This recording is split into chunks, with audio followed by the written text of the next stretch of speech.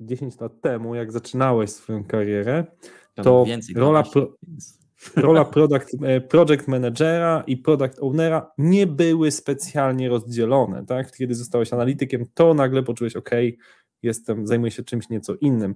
Chciałbym, żebyś więcej o tym opowiedział, co przede wszystkim różni rolę project managera od product ownera, mhm. tak z Twojego bardziej doświadczenia na sytuacjach niż to, co w książce możemy przeczytać. Znaczy, to jest bardzo w ogóle ciekawy temat, bo pamiętam te 10 lat temu już e, od dłuższego czasu e, bloguję, od dłuższego czasu gdzieś dzielę się swoją wiedzą i wtedy dostałem takie zlecenie. Tomek, napisz na blogu, czym się różni e, project manager od product ownera, bo ja u siebie w firmie mam taki problem i chciałbym jakieś rzetelne źródło informacji, które pokaże moim chyba przełożonym wtedy, czym się różni ta rola, bo ja tak naprawdę jestem product ownerem, a wrzucają mnie w rolę takiego projekt managera. I czym ona się różni? To jest jakby bardzo dobre pytanie i jak zwykle można odpowiedzieć na to pytanie, to zależy. E, od, ale od czego zależy? Przede wszystkim od tego zależy, jak traktujemy w ogóle e, projekt management, bo są różne szkoły gdzieś tam projekt managementu. E, jest szkoła tradycyjna i tradycyjna też się tak naprawdę różni w różny sposób, bo i jest ta szkoła trochę bardziej prince'owa i jest ta szkoła bardziej taka PMI-owa. I wbrew pozorom takie podejście PMI-owe jest całkiem e, zbieżne, znaczy może nie zbieżne, ale bliskie temu, kim jest taki product owner z punktu widzenia skramowego, bo taki PM, projekt manager według PMI-a, to jest ktoś, kto rzeczywiście jest takim realnym liderem e, projektu, który też podejmuje bardzo dużo decyzji. Natomiast w Prince jest to zupełnie odwrotnie. PM jest bardziej takim koordynatorem, bardziej kimś, kto dba o harmonogram, bardziej dba o to, żeby ludzie różni ze sobą porozmawiali, żeby decyzje na pod, od, pod, odpowiednim poziomie zostały podjęte. Więc to bardzo mocno zależy od tego, w jaki sposób sobie zdefiniujemy i w jaki sposób rozumiemy kulturę projekt managementu e, w naszej firmie czy w naszej organizacji.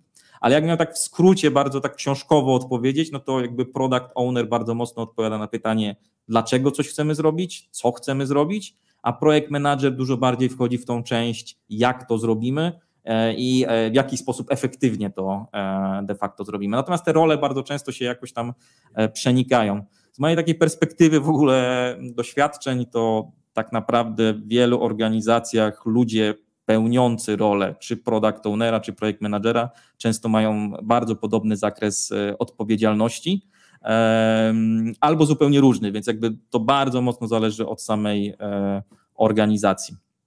Product, e, rola product ownera też jest taką rolą, bym powiedział, bardzo mocno powiązaną z tym, co się stało te kilkanaście lat temu, czyli powstaniem Scrama.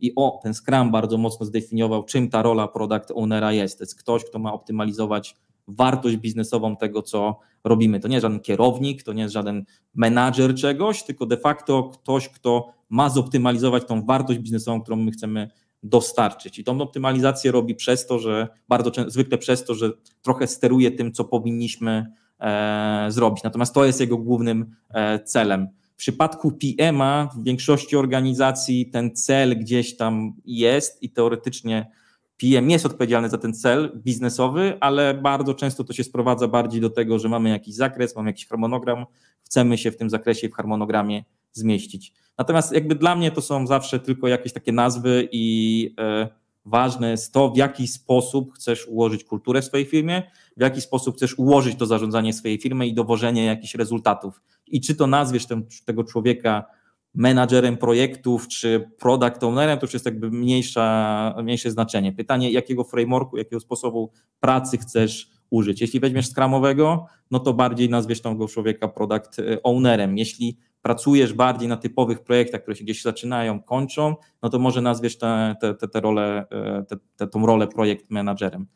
Mi osobiście, jakby moim zdaniem też jeszcze to tak, taka trend i kierunek jest chyba bardziej taki, że idzie się w stronę tą produktową od kilku lat i ja się bardzo z tego cieszę i tego mindsetu produktowego, więc dużo bardziej naturalne się dzieje to, że coraz więcej pojawia się ludzi e, na stanowisku product ownera czy product managera, często wcześniej pełniących rolę e, PM-ów, mhm. czy nazywających mhm. się w firmach e, PM-ami. Ale żeby to zrobić, rzeczywiście wdrożyć tą kulturę produktową, czy zacząć myśleć produktowo, pracować produktowo, robić rozwiązania produktowo, no to, to nie wystarczy zmienić tego samej nazwy stanowiska, tylko trzeba jednak zmienić trochę sposób myślenia.